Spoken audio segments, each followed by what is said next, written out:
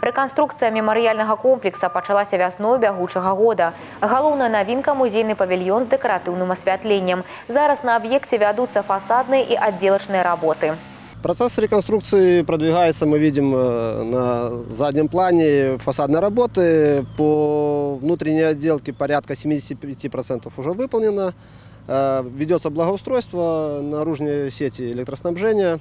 Акрамя таго, пры рэканструкцыі ўжо выканалі шэраг работ па абнаўленні тэрыторыі пад адкрытым небам. Гаворка ідзе аб алеях прамянях, якія вядуць ад плошчы сонца, зоны белага ветразя іншых элементаў комплексу.